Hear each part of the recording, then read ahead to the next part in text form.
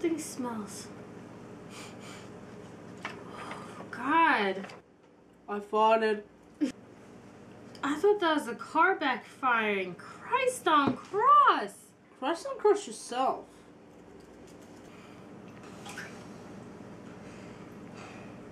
Does this make me look bad? Yeah. What? Don't be silly. You look great. I want to try something.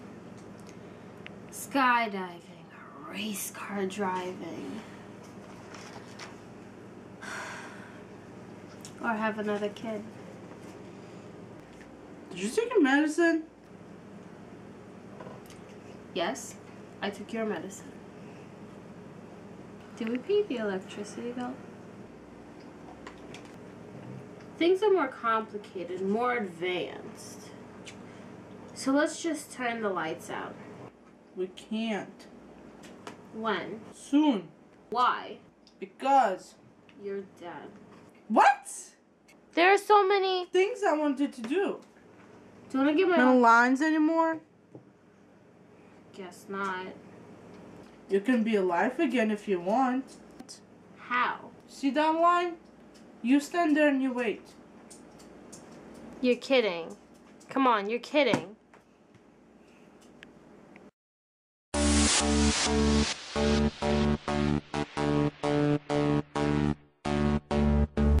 Hi, we're here with the director of the new Couples Com- Conversation. Conversation film, and it was nominated for the new Tony Awards. Oh my god. Oh my god. Oh my god. shut.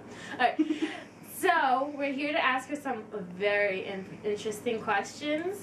Please.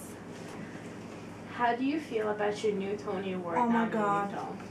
I'm so proud of this film.